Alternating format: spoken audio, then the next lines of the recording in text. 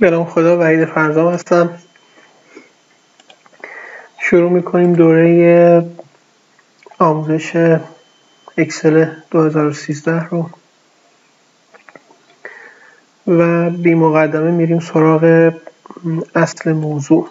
اکسل نرم افزار صفحه گسترده است. من فرض بر می‌گیرم که شما با اکسل آشنا نیستید. اگر کمی آشنایی دارید می‌تونید این مباحث اولیه رو با سرعت بیشتری ازش عبور کنید. ولی پیشنهاد می‌کنم یک بار بشنوید. شاید یه نگاه تازه نسبت به اکسل در شما ایجاد کنه. اکسل نرم افزار صفحه گسترده است یا spreadsheet یه صفحه یک دفتر چند برگ تعداد برگ های اکسل یا تعداد sheet های اکسل رو شما می‌تونید در این پایین ببینید.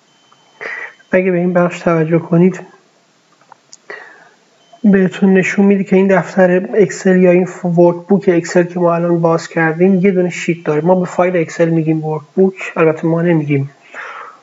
خود اکسل این واژه ها رو تعریف کرده و به هر برگ از این دفتر اکسل میگیم یک دونه worksheet این فایل by default یه دونه sheet داره که اگر رو این دکمه به اضافه کلیک کنید sheet های دیگه ای رو هم به شما میده و شما می‌تونید این برگ ها رو تا هر تعدادی که بخواید اضافه کنید.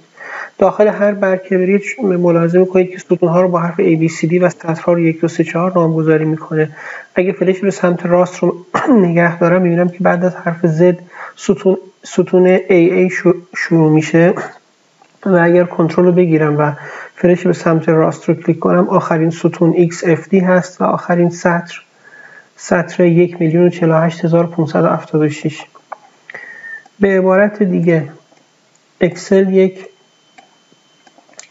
دفتری است با ابعاد 16 هزار ستون یک معذرت می‌خوام اکسل یک دفتری است با n برگ که توی هر برگ شما یه جدول خط کشی شده می‌بینید با 16 هزار ستون و یک میلیون سطر. یعنی توی هر worksheet اکسل حدود 16 میلیون cell وجود داره که شما داخل این cell ها می‌تونید اطلاعات رو درج کنید. کنترل رو می‌گیرم فلش به سمت راست و فلش به سمت بالا برای اینکه برگردم به ابتدایش.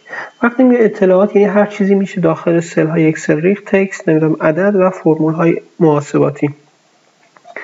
قدرت اکسل به خاطر اینه که به شما اجازه میده هر جای این برگ یا هر جای این برگ هر چیزی که دلتون می‌خواد بریزید و شما رو کاملا توی موضوع آزاد می‌ذاره. و طبیعتا اولین قابلیتی که اکسل داره نگهداری اطلاعات. یعنی شما می‌تونید لیستی از اطلاعات رو داخل یه sheet اکسل یا لیست های اطلاعات داشته باشید. و طبیعتا بعد از موضوع نگهداری اطلاعات که ساده ترین کاری است که اکسل انجام میده محاسبات متعددی است که اکسل برای شما به راحتی انجام میده و گزارش های متنوع ساختن. نمی‌خوام در شروع وقت شما رو درگیر یاد آموزش محیط اکسل بکنم. اکسل این ribbon ها رو داره. Home Insert Page Layout Formulas Data Review View و Developer که البته by default ممکنه توی محیط توی اکسل شما دیده نشه. اگر فایل رو باز کنید و به Excel Options یا به تنظیمات اکسل مراجعه کنید توی بخش Customize Ribbon می‌تونید گزینه Developer رو تیک بزنید تا ribbon Developer هم برای شما دیده بشه. علی ای حال.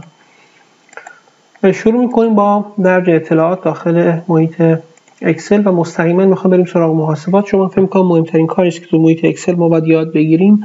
برای همین از این موضوع حواشی وقتگیر محیط اکسل من به سرعت دور میشم. بعدا به مرور زمان در طی دوره هر جایی که لازم شد راجع به اینها صحبت خواهیم کرد. خب داخل cell های اکسل شما می‌تونید اطلاعات بنویسید. اعم از متن یا عدد یا فرمول.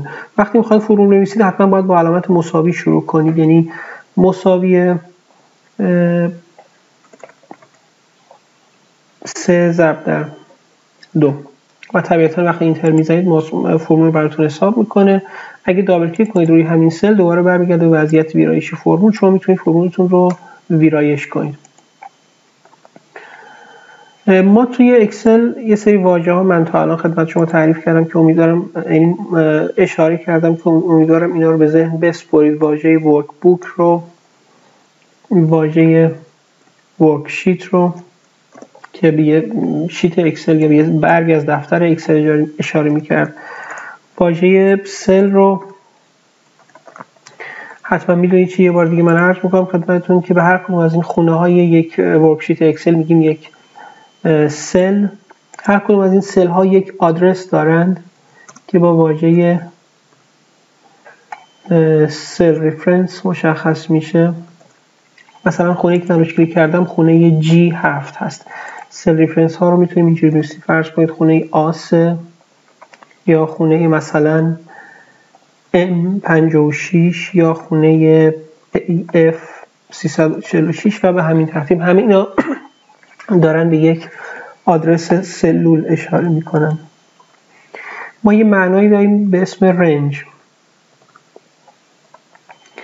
و رنج به یه محدوده اشاره می‌کنه. محدودی که می‌تونه بزرگتر از یه خونه باشه. این که من انتخاب کردم و شما نگاه کنید این محدوده رو اگه بخوایم آدرسش رو نام ببریم باید به قطر اصلی محدوده انتخاب شده ما توجه کنیم. قطر اصلی میشه از این خونه تا این خونه. خونه اول خونه جی 9 هست خونه آخر که اینجا هست خونه آی 12 هست. اگر بخوام این محدوده رو که من دورش بردر می‌کشم فقط به خاطر اینکه بهتر دیده بشه. آدرسش رو من مشخص کنم میگم جی 9 تا دو نقطه معنی تاست تا آی دوازده.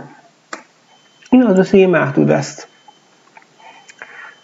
و به همین ترتیب می‌تونیم موضوع رو ادامه بدیم. پس رنج داره به یه محدوده اشاره می‌کنه. توجه کنید که ما توی آدرس دهی به خانه ها یا محدوده ها من اینجا از دو نقطه استفاده کردم برای اینکه بگم از این خونه تا اون خونه. به عبارت دیگه دارم به یه محدوده اشاره می‌کنم. ما یه سپریتور دیگه هم داریم که معمولا سمیکالونه. فرض کنید که من یه جایی گفتم A1 دو نقطه B4 شما متوجه میشید میگه از خونه A1 تا خونه B4 یعنی داره به یه مستطیل اشاره می‌کنه که از A1 شروع میشه تا B4 حالا اگر همین رو به جای دو نقطه بگم A1 سمیکالون B4 میشه خونه A1 و خونه B4 فقط خونه A1 و خونه B4 این که از کردم سمیکالون تو بعضی سیستما ممکنه بسته به تنظیمات ویندوزتون به جای semicolon comma هم باشه که این آیتم قابل تنظیمه و separator یا جدا کننده می‌تونه توی ویندوز شما semicolon یا comma تعریف بشه طبیعتا اگه یه بار امتحان کنید خودتون متوجه خواهید شد که کدومه و راجع به تغییرش هم توی Control Panel ویندوز باید برید که خب حالا الان بهش اشاره ای نمی‌کنیم. من یه محدوده دیگه اینجا می نویسم فرض کنید من یه محدوده می نویسم مثلا محدوده به عبارت دیگه دارم یه آدرس می نویسم A1 سمیکالون B4 دو نقطه D7 اگر بخوام محدوده ای که من اینجا نوشتم و الان رنگ با رنگ مشخص کنیم میشه خونه A1 به اضافه محدوده B4 تا D7 پس سمیکالون به معنی و داره استفاده میشه به تعبیری و دو نقطه به معنی تا. یعنی محدوده که من اینجا آدرس اینجا برای شما نوشتم میشه خونه A1 و محدوده B4 تا D7 کنترل زد می‌ذارم که این رنگ ها ما رو اذیت نکنه.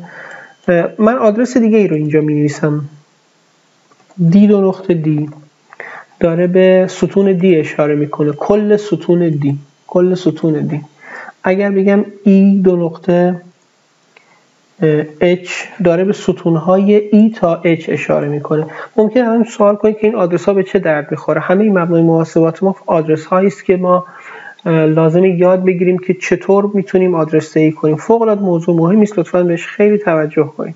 همین روش برای سطر هم می‌تونیم داشته باشیم. دو دو نقطه دو به معنی سطر دو هست. البته من اینو باید یه کاری انجام بدم که دو دو نقطه دو رو بتونه بگیره. دو دو نقطه دو. و اگر همین دو دو نقطه دو رو من بیام و بگم مثلا چهار دو نقطه هفت یعنی از سطر چهار تا سطر هفت. پس این میشه آدرسدهی ستون این میشه آدرسدهی چند ستون آدرسدهی یک سطر و آدرسدهی چند سطر. یه تکنیک دیگه هست توی آدرسدهی که حتما باید بدونید و اونم اینه که اگر من یه جایی بنویسم آ4 احتمالا دارم به خ... می‌تونید متوجه بشید که دارم به خونه آ4 از شیت فعال یا همون شیتی که الان داخلش هستم دارم اشاره می‌کنم که میشه شیت یک. اگر بخوام به آچار از یه شیت دیگه اشاره کنم مثلا بگم خونه آچار از شیت شماره دو شیت اس شیتی که اسمش هست شیت دو باید اول اسم شیت رو بیارم بعد یه علامت تعجب و بعد آچار رو. و این میشه آدرس به یک سلول داخل یه شیت دیگه. همین قاعده رو برای محدوده میشه ذکر کرد. یعنی من می‌تونم بگم شیت سه علامت تعجب مثلا D4 تا F6 پس این میشه آدرس به یه محدوده داخل داخل یک شیت دیگه. خب من راجع به موضوعات آدرس صحبت کردم امیدوارم به ذهن بسپرید. خیلی مهمه چون با آدرس خیلی سر و کار داریم. من این واژه ها رو تعریف کردیم با دیگه مرور می‌کنیم و راجع به آدرس یک کمی صحبت کردیم. شروع می‌کنیم به انجام محاسبات ساده انجام دادن. عرض کنم خدمت شما که خب میریم از شیت دو به فضای تمرین استفاده می‌کنیم. من اینجا یه عدد نوشتم اینجا یه عدد اینجا می‌خوام جمع این دوتا رو ذکر کنم. طبیعتا می‌تونم بگم مساوی با سی چهار به اضافه سی سه. وقتی که اینتر می‌زنم اینا رو با هم جمع می‌کنم. توجه کنید من وقتی که تو فرمول ها می‌خوام به یه خونه یا به یه محدوده اشاره کنم می‌تونم به جای اینکه آدرسش رو بنویسم با موس اون محدوده رو انتخاب کنم و ملاحظه می‌کنید که با کلیک روی خونه سی چهار در وقتی در حالت نوشتن فرمول هستم روی خونه سی سه مدارت خب آدرس خونه بر من به طور خودکار نوشته میشه. به اضافه سی چهار و حالا اینتر می‌زنم و محاسبه برای من انجام میشه. پس این قاعده محاسباتی ساده بود که خب با هم دیدیم و متوجه شدیم که چطور کار می‌کنه. می‌خوام راجع به عملگرها شما یه مقدار اطلاعات داشته باشید چون اینو مفاهیم پایه هست در موضوعات محاسباتی توی اکسل اکسل سری عملگرها داره. عملگرهای محاسباتی که خب خیلی پر استفاده هستند بعضی رو می‌شناسید ممکنه بعضی رو هم ندونید. من همه رو اشاره می‌کنم. عملگرهای ضرب تقسیم جمع تفریق منها عملگر درصد. فرض کنید اگر من اینجا بنویسم 5 ستاره 7 یعنی 5 ضرب در 7 به همین ترتیب عملگر تقسیم جمع تفریق اینا ساده است. عملگر توان که با شیفت عدد 6 روی کیبورد نوشته میشه 4 به توان دو که جواب احتمالا میشه 16 و همینطور عملگر درصد. اکسل درصد رو درک می‌کنه. اگر من بگم فرض کنید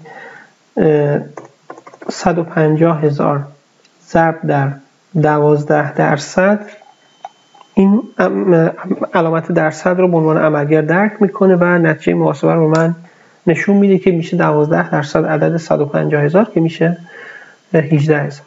این عملگرهای ساده است که اکسل داره می‌شناسید یه سری عملگرهای دیگه هم داره که من به ترتیب به شما عرض می‌کنم. اکسل یه عملگر اند داره. برای اتصال رشته های متنی به هم. فرض کنید که من توی این خونه نوشتم علی و تو این خونه نوشتم رضا. و حالا می‌خوام این دوتا رو به هم بچسبونم. می‌تونم بنویسم مساوی با F31 که آدرس خونه است که علی توش نوشته شده. اند به F32 که G31 که آدرس خونه است که رضا داخلش نوشته شده و با کلیک روی اینتر این دوتا رو به هم میچسبونه. پس عملگر اند برای اتصال رشته های متنی به هم استفاده میشه. و البته یه سری عملگرهای دیگه که عملگرهای مقایسه ای هستن و فوق العاده مهمن. عملگر بزرگتر بزرگتر مساوی کوچیکتر کوچیکتر مساوی. عملگر مساوی که من باز باید مساوی رو اینجوری بنویسم و عملگر مخالف. توجه کنید اینا همه عملگرهای مقایسه ای یعنی حاصل این عملگرها حتما ترو یا فالسه مثال من اینجا می مساوی با 6 بزرگتر از 4 مساوی اول که معنای فرمول میده. یعنی اونو نباید ببینیم. همیشه اولی مساوی یعنی اینکه ما داریم فرمول می‌نویسیم. 6 بزرگتر از 4 این یه عملگر لاجیکال یه عملگر منطقی بررسی می‌کنه. اگر 6 بزرگتر از 4 باشه جواب میشه true. اگر نباشه میشه false که البته اینجا جواب ما به تب true هست. و همینطور برای بقیه شما می‌تونید اینا رو داشته باشید. من می‌تونم همین کار رو با خونه های اکسل داشته باشم به جای اینکه عدد رو تایپ کنم فرض کنید که من اینجا یه عدد 34 نوشتم اینجا یه عدد 67 و اینجا میگم برای من بررسی کن. مساوی با این خونه کوچیکتر از این خونه. که جواب میشه؟ False. عملگر مساوی هم به همین طور این عملگر مساوی که من اینجا نوشتم با اون مساوی که فرمول باهاش شروع میشه فرق می‌کنه. توجه کنید من می‌نویسم مساوی 5 مساوی 6 مساوی اول یعنی فرمول. مساوی وسط عملگر لاجیکاله. یعنی بررسی کن 5 مساوی 6 هست یا نه. اگر باشه جواب میشه true.